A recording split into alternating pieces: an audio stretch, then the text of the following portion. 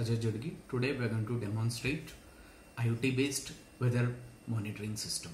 It will be measuring the atmospheric temperature, relative humidity, visibility and location with the latitude and longitude using the GPS receiver.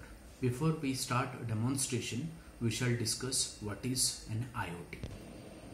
Now we shall see what is an IoT. IoT is nothing but Internet of Things. It is basically consisting of a client and a server. Basically, it is a client and server communication using the TCP IP. Okay. So we shall see what is my server. Server is nothing but a socket program.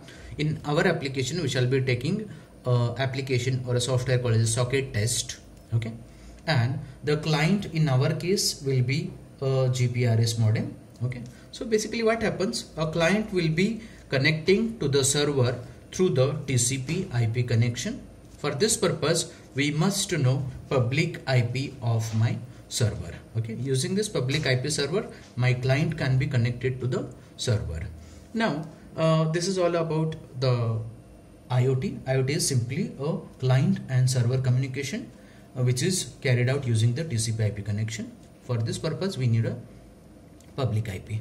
Now, uh, what is the application of IoT? Suppose in our case, we are going to measure uh, atmospheric temperature.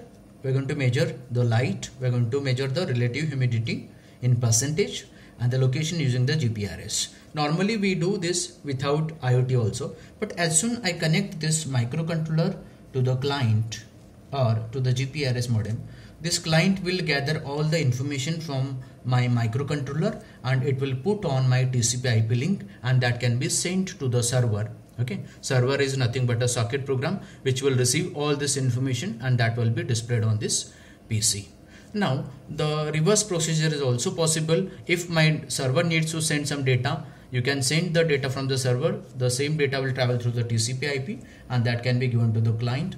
And next the client will be sending this data to the microcontroller. So this is all about the IoT okay.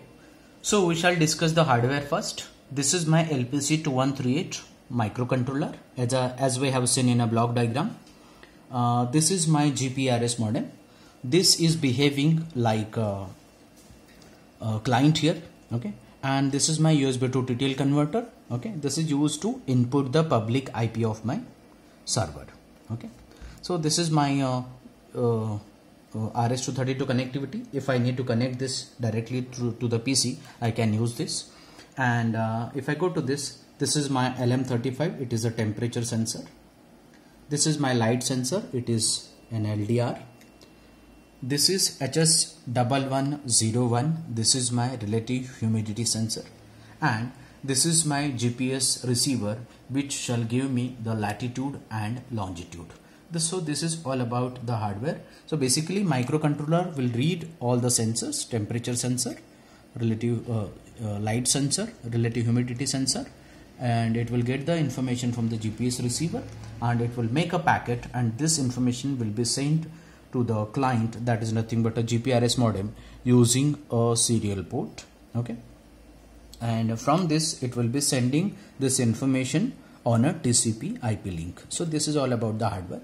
Now what we need uh, at the software end now you can see this is my COM port 1 configured at baud rate 9600 okay? So here uh, I have connected this terminal has been connected to the uh, GPRS modem that is nothing but a client. I can check what is response of my client okay? And here we have one more uh, serial port that is COM16 here I'm supposed to input the public IP of my server okay? Now uh, one more laptop or PC we need. My server basically here we have my server but uh, before I start my server I must know what is a public IP of my uh, internet or my server. Okay? Here if you just type in a chrome my ip address you can see my public ip of server is 219.64.165.222 now if you know this just you minimize this and you run a server that is socket test double click on this and you click on a server and here you are supposed to mention the port number. That is 747 using this port number it will start listening the clients. Now you just click on start listening. Okay so as soon I start my hardware it will ask me for the public IP so I'm supposed to input the public IP so once I put the public IP this is the response. We can see this is the response from my uh, GPRS modem okay? It is being uh, carrying out its uh, procedure for connecting through TCP IP okay?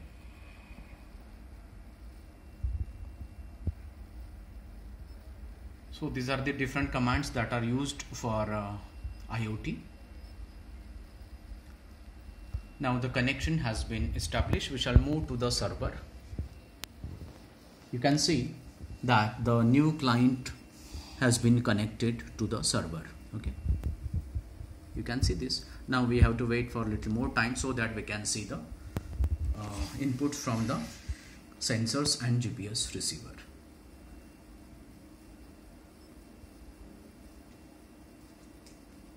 Okay. So my temperature is 28 degree relative humidity is 40 percent visibility is 53 percent latitude and longitude you can see okay. Now as soon I change I if I want to change the reading I can just rise my temperature by heat to the LM35 okay. Now you can see the variation. Just move to the server.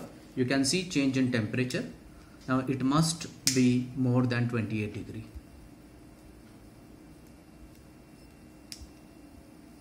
Now we can wait for the second reading. Okay. Now you must have seen the temperature is now 37 okay?